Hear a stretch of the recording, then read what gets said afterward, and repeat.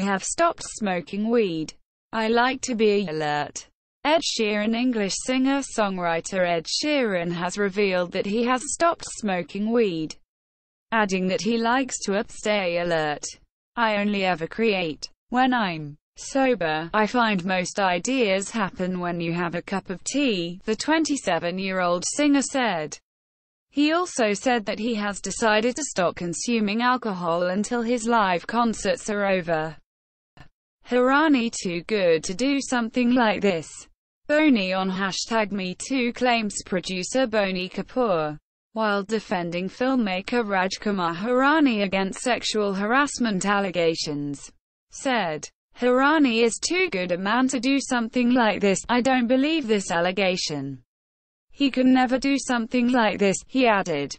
Hirani has been accused of sexual assault by a female assistant who worked in his directorial.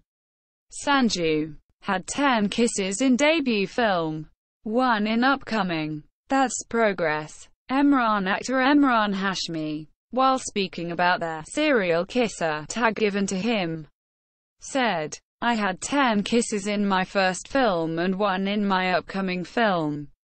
So that's progress according to me, perhaps. I will not have a kiss in the next one. No wait.